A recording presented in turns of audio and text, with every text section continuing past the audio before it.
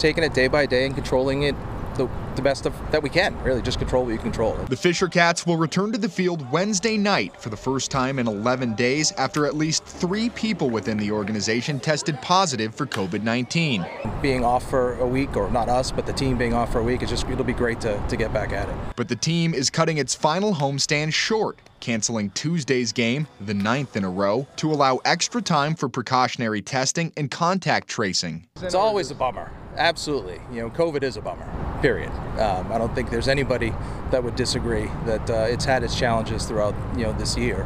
Um, it's just how you come out on the back end. The Manchester Department of Health tells us they've been in touch with the Fisher Cats and everyone infected. They say they're happy with how the team handled the situation and have no concerns about them resuming play on Wednesday. They have done everything that we needed them to do as a, an organization and uh, have been fully cooperative. Having no season at all last year, to being able to actually welcome fans out to the ballpark and see those memories being built and created uh, during you know this year has been fantastic.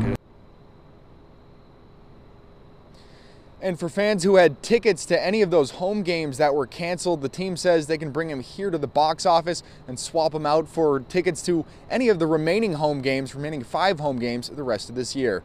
Reporting live in Manchester tonight, Scott Cook, WMUR News 9.